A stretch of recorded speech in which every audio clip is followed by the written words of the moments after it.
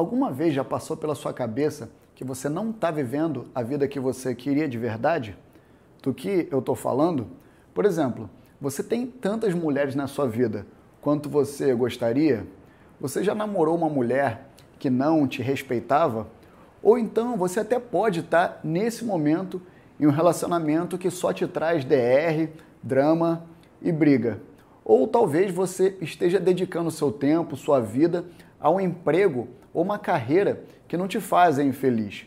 E o que você queria é ganhar mais grana, ter um negócio próprio ao invés de ser escravo dos outros, ter mais mulheres na sua vida ou uma mulher especial, ter um estilo de vida melhor, com mais liberdade e ser mais feliz do que você é hoje.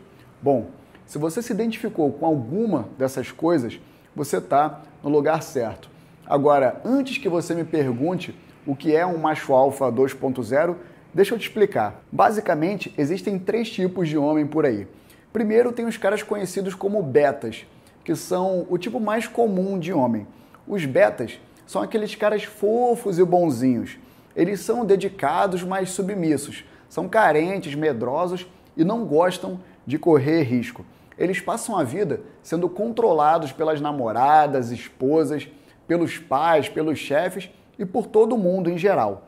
O macho beta é um dos degraus na escala do homem, mas esse tipo de cara não está perdido. Ele pode abrir os olhos e tomar uma atitude, deixar de ser frouxo e se tornar um tipo de homem mais interessante e dominante.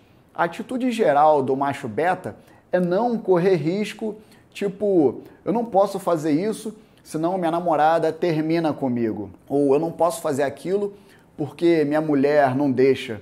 Eu não posso começar um negócio, se não der certo, eu não vou ter como pagar as contas. Eu não posso fazer tal coisa, minha família é contra. Eu acho que você já entendeu.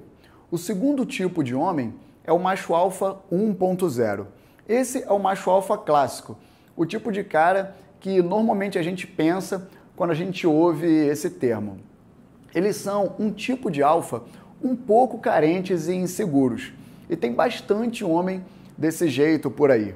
Os machos alfas 1.0 são valentões, másculos e de certa forma confiantes, dominantes, competentes e bem-sucedidos. Eles tomam atitude quando necessário. Diferente dos betas, eles mandam nos outros ao invés de serem mandados. Eles são caras legais até certo ponto. O problema é que eles são meio sensíveis ao que os outros falam ou fazem. Eles não são emocionalmente maduros. Por exemplo, se a namorada de um alfa 1.0 faz alguma coisa que ele não gosta, ele perde a cabeça. Ele começa a ter um ataque de pelanca, gritar, mandar e impor a vontade dele à força. A mesma coisa acontece com pessoas da família, amigos e pessoas do trabalho. Ele é tipo um reizinho mandão. Quando todo mundo faz o que ele quer, ele fica feliz e satisfeito.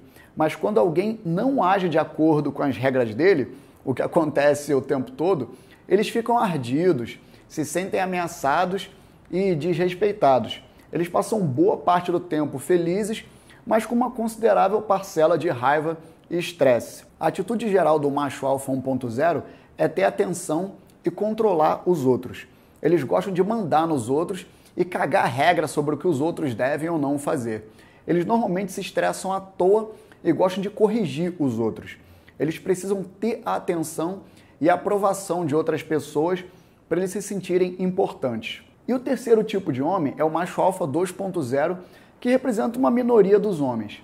Esse camarada é bem parecido com o macho alfa 1.0, mas com algumas importantes diferenças.